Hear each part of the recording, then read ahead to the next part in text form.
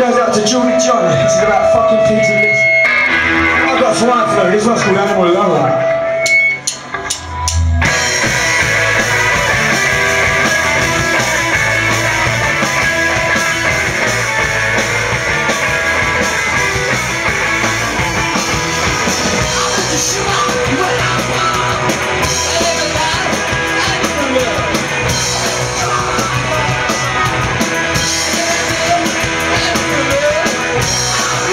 Thank you.